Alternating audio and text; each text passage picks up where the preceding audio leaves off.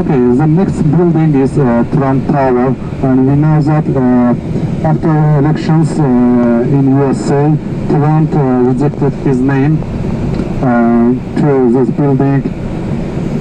You can say maybe it was mm, it was uh, will be um, five-star hotel in the future and also a business center.